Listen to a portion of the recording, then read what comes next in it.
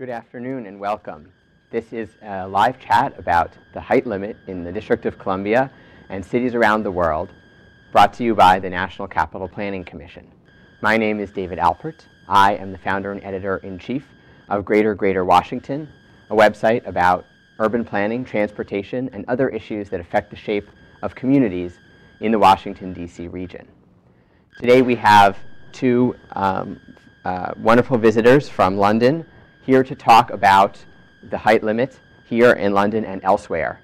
And this is a lead-in to NCPC's uh, panel discussion this evening at 7 o'clock on this issue. To my right is John Worthington. He is a uh, principal at DEGW Architects and a visiting professor at the University of Sheffield. And Robert Tavernor, who is uh, an architect, urbanist, and historian uh, and uh, has been a, a, professor at a number of places and has been involved also with a number of major development issues and, and sites in London. Welcome. Thanks so much for coming here to Washington, D.C. and for joining us for the chat today. Um, I guess to start with, uh, you both, I know, spent a little bit of time over the last day or, or so or, or weekend uh, touring around the, uh, Washington, D.C. When I go to different cities, uh, I often notice things through the lens of, of my experience with urban issues, architecture, and so forth. What have you noticed uh, that you think particularly stands out from your time walking around DC so far? When do you start, Robert? Because Robert had his weekend here. I just arrived. All right. Yeah, no, I, I, I was I arrived on um, Saturday, so Sunday and Monday I've been walking around, and and it's actually walking around which has been key for me. I mean, if you can walk around a city, you get to understand uh, the the lay of the um, the, the, spaces and the buildings and get a clear sense of the structure. And I think actually for me, DC did very well. Uh, it passed lots of tests. It was a it was a pleasure to walk through. I mean, it was a bit windy on Sunday, uh, but nothing we can do about that. nothing you can do about that.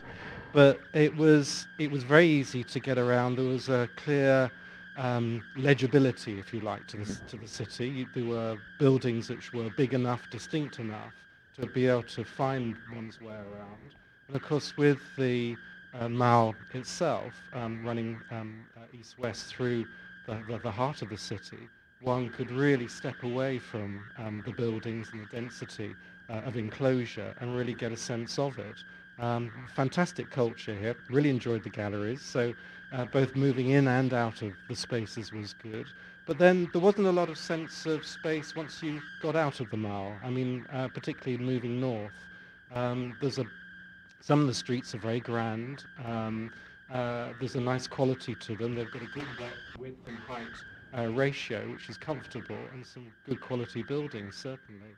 But there was a sort of missing a, a, a sense of small pocket parks, um, open spaces and so on, where you felt that you could just stop, sit down, uh, take a coffee before moving on. So there was, it's a city of extremes in that way.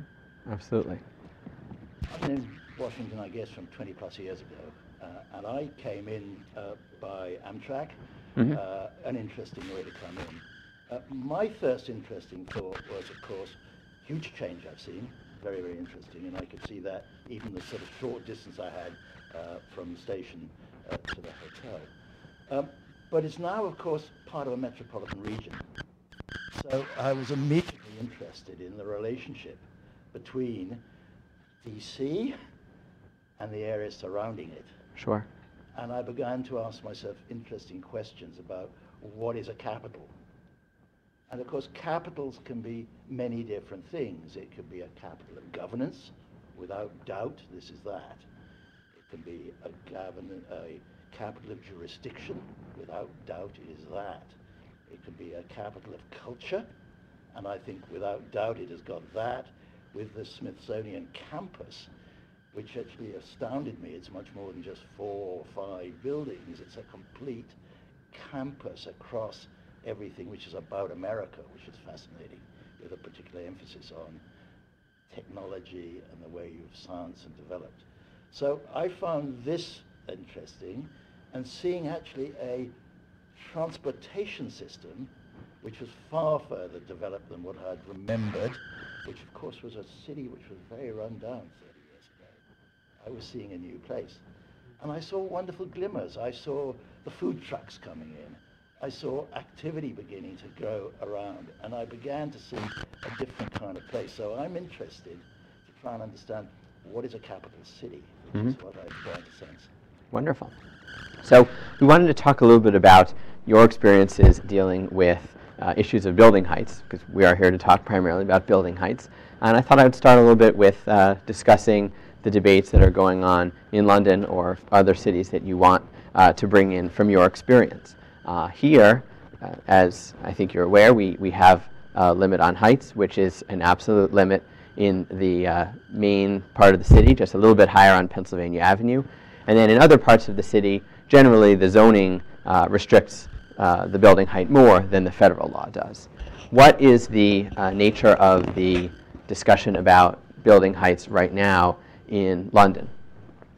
Robert, again, because you you actually involved with it. Yeah, no, I, um, as, a, as a consultant, as an architect and an urban, urbanist, I'm, I'm very much involved in um, uh, where tall buildings are, are located, their height, um, and, and so on. Um, the, it really became an issue in a big way about a decade ago, really around 2000. Um, until then, um, there had been what we called a pepper potting of tall buildings across London, where, where buildings, particularly residential buildings, some um, commercial buildings, had just cropped up where they'd managed to convince um, authorities or government to be built in exchange for um, some other concession.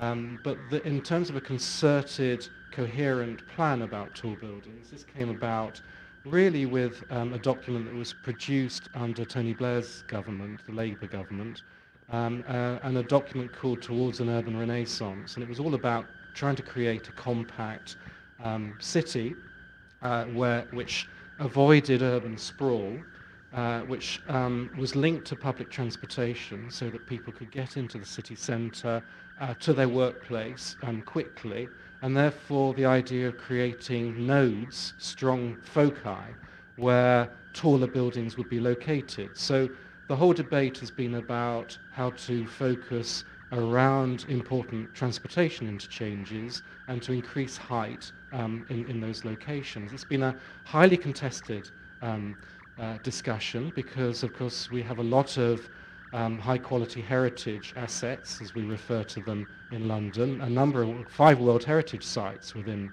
London, and three in the um, central area alone.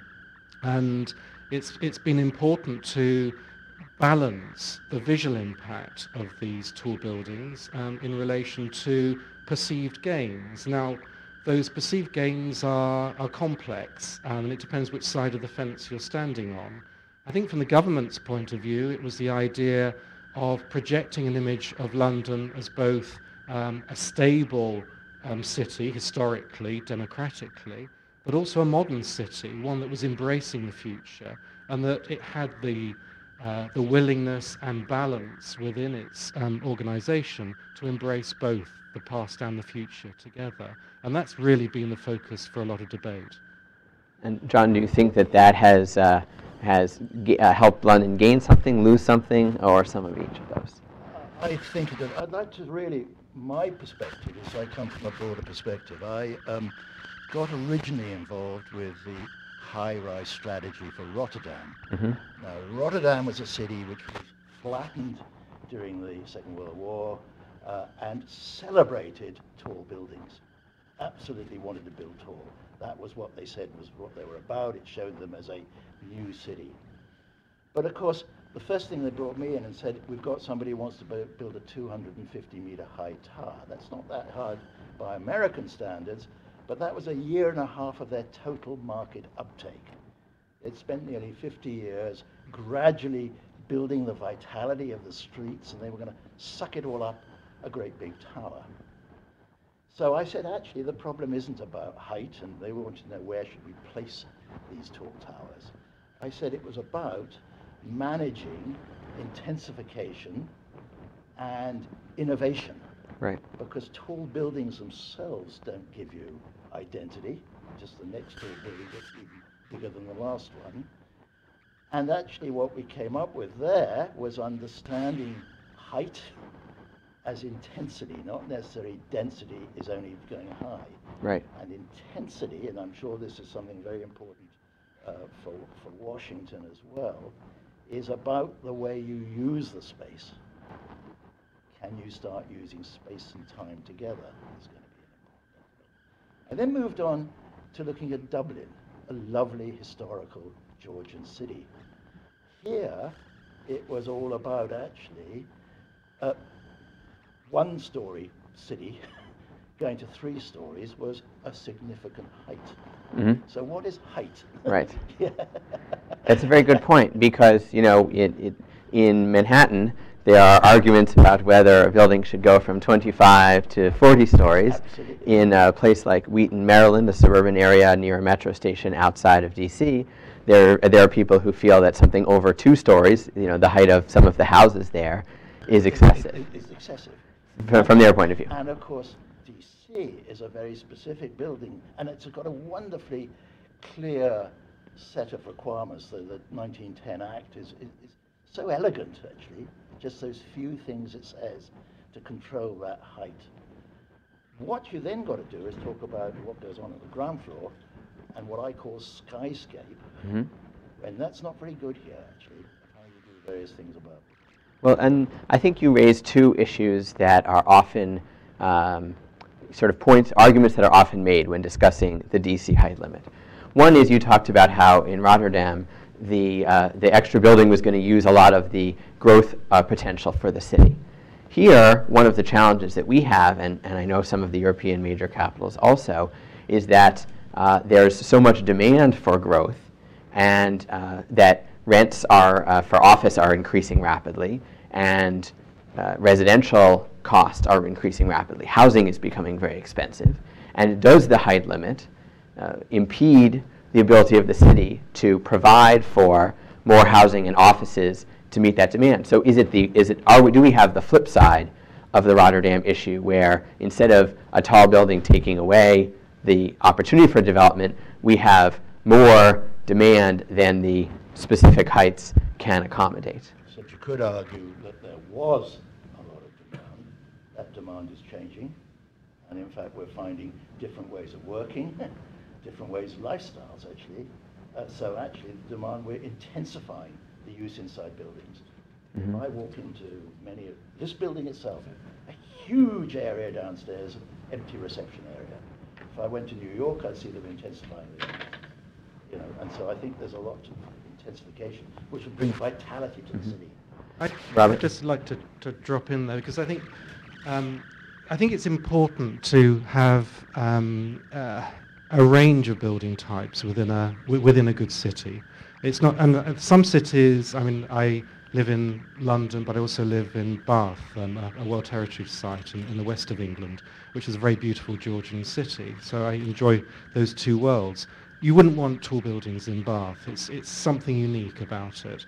The central area of Washington, D.C. is unique. It's got a very specific character, which is 200 years old. It grew obviously from the L'Enfant, um, uh, Jefferson, Washington initiative. So it's got, there's a special resonance about it. But beyond that central area, surely there is a potential for a range of um, building types.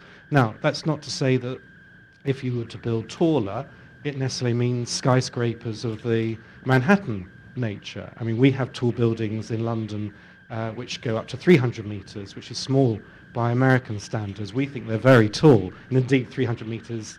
Um, the Shard, which is just being completed in London, is the largest um, mixed-use building in Europe, I think, at the moment in, in, height. So And how many, how many floors is that above ground, just so people can get a comparison? 45. Okay. Yeah. yeah.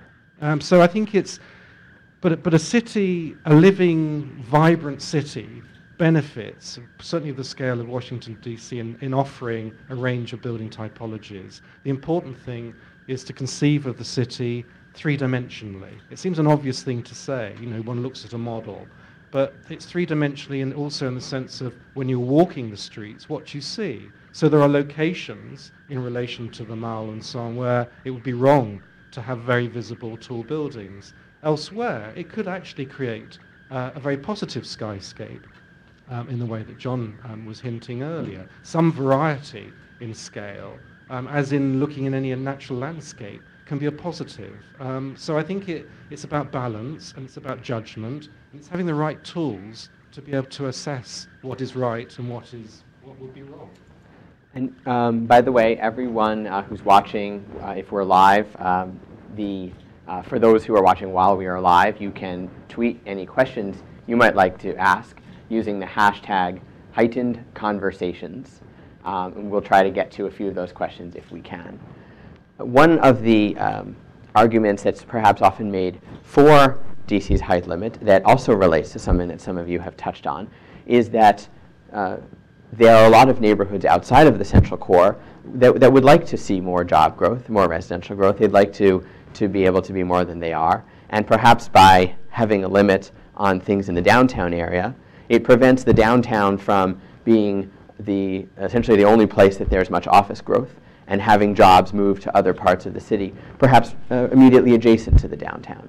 Has that been, was that the experience in, or, or was that in, at all something that was going on, a dis- part of the discussion in London or in other cities that you're familiar with, as far as people saying, how do we direct growth to a certain part of the city versus another? Well, of course, in London, two very important things. The City of London, seeing it as the capital of finance, was in this, what we call the square mile. Uh, then you got an American developer, Canadian, who came and they built Canary Wharf. Mm-hmm. That was an absolute classic counteraction uh, to uh, the City of London. What it did to the City of London was stimulate it to say, hey, we've got to do other things. And the second big one, of course, is that many of the functions traditionally moved up to the West End, not in tall tower blocks, because these were the hedge funds, these were the small, high-value organizations, uh, uh, and a lot of the um, natural resource people trading there. That was interesting. They went into old Georgian houses, into a low-rise, high-density area. And then you've got the third, the one which was mentioned, which is across the river just outside, was the Shard, which uh, I was very involved with actually. Now, that was a very special building. It's tapers, so although it's very large, it can be mixed use because it has a variety of depths of floors. My view is here, the story is to try and understand is what do functions need? What sort of functions do you want in DC? And what kinds of space does it need? And how much of that is going to be here or in the future is going to be in a distributed city? Because what we're seeing now is polycentric cities, mm. which gives us a very special view then of what will DC be. right, and, and I want to hear uh, from Robert, but one uh, immediate thought to your question is that in DC, given the uh, intersection of the federal government and local, there's not always unanimity on what we want the city to be. To some people, they want it to be uh, more of a, a, city for residents. Uh, the District of Columbia, the, the DC government's uh, objective would be to diversify its jobs away from federal jobs so it's not as dependent on federal spending. Whereas from the federal government's point of view, that's not really uh, its priority but because it's the federal government. So. Probably, perhaps the answer is to have more right. division because in London we have 33 local planning authorities. Um, and those 33 local planning authorities are often at odds with the Greater London Authority, Mayor Boris Johnson these days, um, who have an overarching role in terms of dealing with where things should go, where height should be, and so on. So I think actually, perhaps, yes, more range is good. Westminster City Council, which along with the City of London that John mentioned, and they're the two wealthiest, largest boroughs uh, within central London. Um, Westminster doesn't like tall buildings. It's actually demolished or had demolished buildings that have been built since the Second World War whereas the City of London is promoting tall buildings. So you get a, then a city of contrasts, and you get a city then with very definite character areas. And I think that's part of what we're talking about as well. Maybe what isn't clear to an outsider here for a short while is distinctive character areas. Certainly the Mall um, and some of the other areas around it are, are, clearly identifiable. But maybe a city of this scale should have, um, I don't know, a dozen um, different character areas, which are decided um, by the type of space they offer, the type of activities that cluster around them, and that different types of buildings, some tall, some low, or whatever, are linked to those. So this is the sort of polycentric city that John's referring to as well, which then expresses itself through its activities. And that polycentric city, of course, is very much broader than just the DC territory. However, within the DC territory, there will be character areas, which I think is very important to understand. Georgetown, etc., Dupont Square Circle. You know, this is going to be an interesting way to think about it. I think. Right. Do you think getting back to um, you, you coming here, and, and of course a lot of other visitors come to the city from many countries and all around uh, our nation, do you, what, what message does it send, in your view, to people looking at the city, um, in particular the places right beyond the mall and right beyond the federal area? We have you know, a lot of these buildings of, of, a, of a uniform height. Do they think, you know, that, does that mean something? What, what do you think, how do you think people react to that?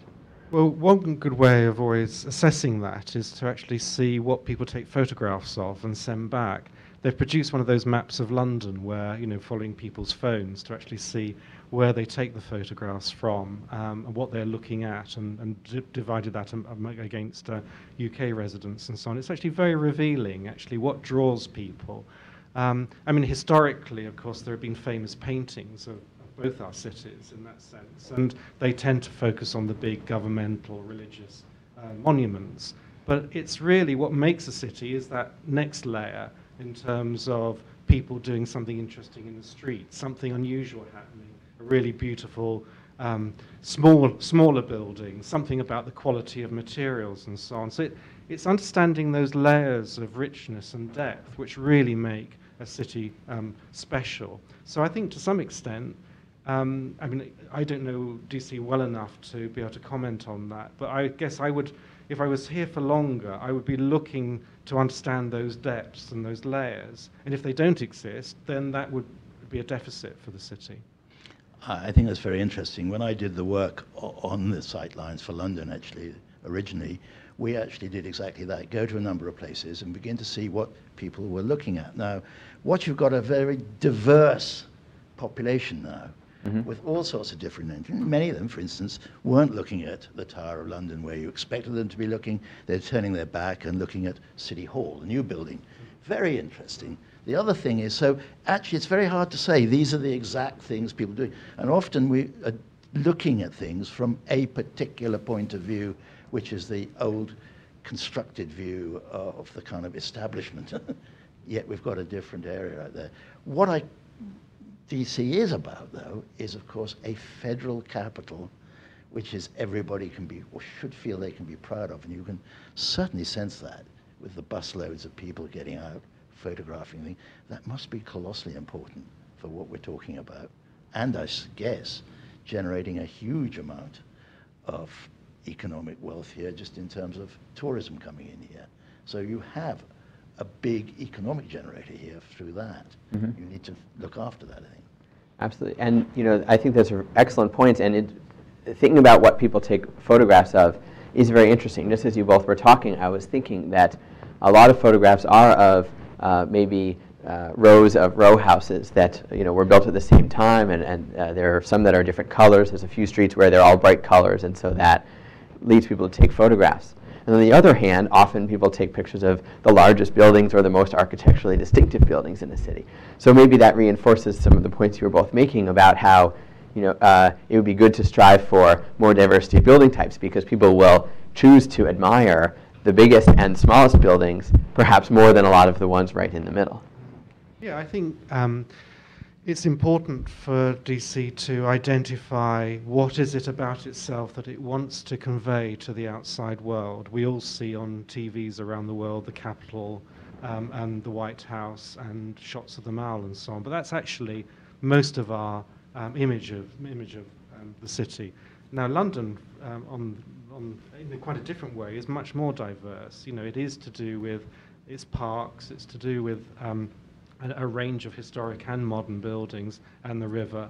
So all those things actually feed into. I mean, London has the largest number of tourists, I believe, in the world of any of any city. I think it's 15 million visitors a year or thereabouts, and that is a has a huge impact both in terms of wealth, but in terms of expectation. And therefore, one thing feeds to another, and it gives um, more variety in terms of you know the West End theatre, what it can support, which again feeds into urban living and Right. makes it a great city to live in. And there's no reason why DC, because of its national importance and therefore international standing, couldn't be um, a similar city if that's what the direction it wants to go. New York is certainly that. Right. Um, and I guess most people would choose New York as a destination over Washington because of the variety and the experiences that it offers. Does in London the the fact that it is striving to be a, financial capital, business capital in other ways, and have sections of the city that do that,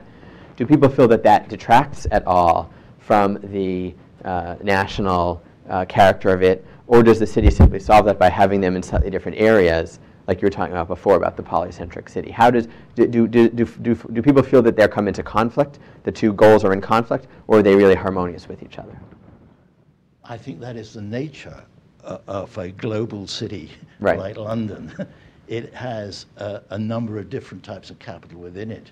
Uh, and actually, if you take, there is a wonderful equivalent of a mile almost, which goes from Buckingham Palace almost straight past Clubland, which is, uh, and government, through the law and university with LSE, right down into the business district, ending at uh, the Royal Exchange and the Bank of England. That is the sort of sequential. It's not understood by many people, but it is one great mile, actually, of that is holding London together. But it's all sorts of different distinctive areas. And of course, actually, in big cities, each of us has a different city of which we hardly go to other parts of it. So my city will be uh, the city of education, maybe, you know. Another person's city is a city of commerce. Uh, and these are kind of separate areas. In cities like London, they've all got compacted. Right. In American cities, they've got dispersed. And that is our polycentric city. And I think that's quite interesting starting point to think about what is the real essence of DC? But the, the, the, sorry, the one thing that um, I would just add to that is that in terms of the City of London itself, the commercial centre, what kills that is that at night um, it doesn't have the same level of vitality as the West End. And again, I think that is the, this focus on the polycentric city is important because what it means is that not only have you got employment, uh, but you've got residential um, as well as shopping and um, all that goes to make um, a, a place a complete entity. Um, and I think the real problem is when you get exclusive places. Um, I mean, you go along Pennsylvania Avenue. I mean, we were shown the FBI site, for example, which you know that's a fantastic opportunity. But with only one use on it, it kills that block. Right. With an active ground floor, residential, commercial, all on that site, that part of Pennsylvania Avenue would be absolutely transformed. And that, you can imagine that multiplying through a city like this. So you're, you're saying, I, I think that a polycentric city doesn't mean segregating the uses. It means creating what feel perhaps like different cities, but each of which is somewhat self-sufficient, or at least um, has all of the characteristics of a city in and of itself. It would be the quarters of a traditional city. Sure. It's a dominant theme. Right. But it's a complete place in itself Right. with very good public transport. Exactly. And that's what you're Right. much better now. Right. And, and uh, with, the, with the issue about the, um, you know, the, the analog of the mall uh, in, in London or other places, one uh, objection perhaps that I think uh, has been raised to having other areas near downtown, but perhaps not right in downtown, that have taller buildings or a different character is whether they'll be visible. There's, there's something of a feeling that well, we, you should be able to stand in certain places and look and, and not have uh, the, the feeling of, of buildings or, or different things that aren't the federal city impinging. Uh, does, that, does that ever come up in London, or, or do people simply not feel that it's okay if you can see tall buildings for a financial center, that that's fine?